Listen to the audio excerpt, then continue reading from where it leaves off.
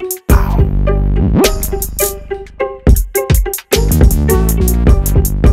what's up everybody? Once again, it's Brandman Sean and I'm back with another episode of Inside the Network where we share exclusive content from inside of brandmannetwork.com. Now this clip right here is from a collaboration that Brandman Network did with the members of Music Entrepreneur Club. Me and Dame sat down answered questions for about two, three hours. And in this particular clip, I talk about a big problem that artists have when it comes to running ads. Let's get into it.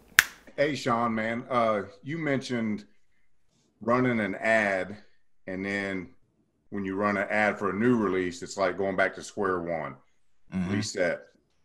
How do you keep from resetting it? Are you setting up like a bridge page that you add a pixel to? Are you running it to people who watch 75% of the last video? How do you keep from doing that? Okay. So there's multiple ways. One way would be that simple who watched the percentage of this video, right? Um, and we have to remember that marketing, especially at the beginning, and especially when we're talking about digital, but just marketing as a whole, should be one big process of learning.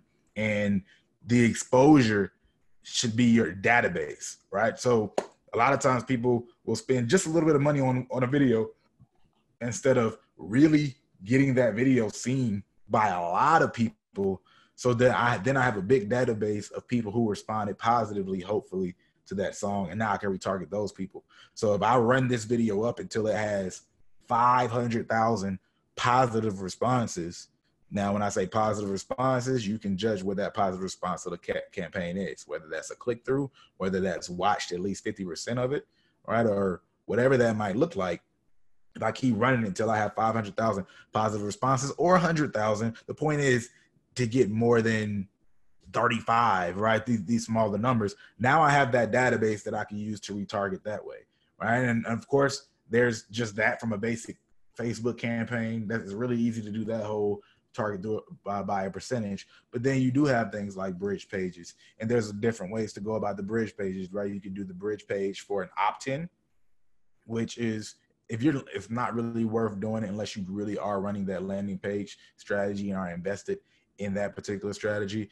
Um, but a, a midway bridge page strategy is also utilizing a redirect where you are running a Spotify campaign because Spotify is a dark zone, right? So you run a Spotify campaign, you lead people over to Spotify, you don't know what the hell happened of there. All you can do is infer based on if plays went up or not.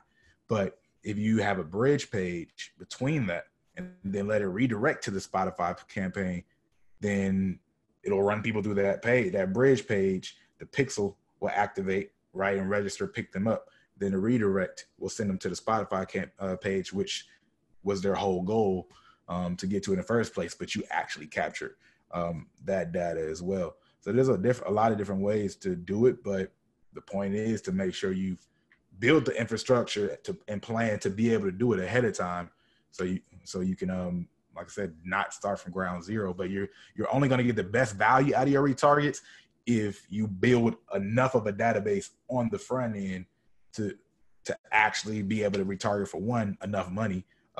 I mean, for a low enough cost, because if you don't have a big audience to target, it's not going to really be uh, cost effective. Um, or um, and two, even if you don't have a particular song or video, obviously if you have a particular a, a, a sizable following, you can always run the engagement campaign on Instagram where it basically says anybody who's interacted with this page over this past period of time.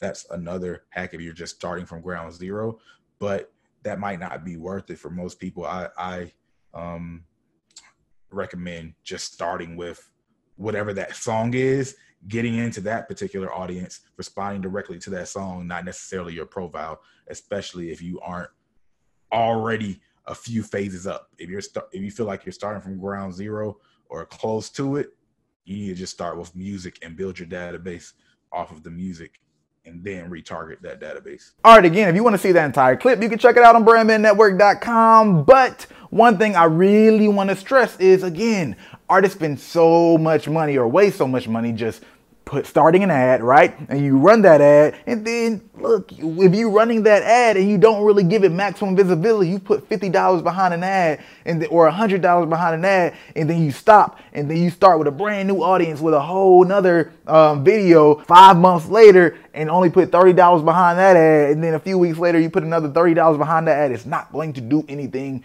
for you. You need to at least be collecting something and be intentional about either expanding continuously that same data set or make sure you're capturing over that period of time. I'll go deeper into that and really break that stuff down sometime in the coming months, but keep that in mind. Quit wasting money right? Either you're gonna do it right and strategically and build out and stick to a strategy, or don't do it at all. Go find some other means to an end because you're just wasting your money. Unless you just say, I'm in learning mode, I'm just trying to learn how to run ads well. But a part of learning how to run ads well is also learning how to have a strategy that those ads are feeding versus just being an isolated ad in and of itself. So please be more intentional and thoughtful about how you go about running ads.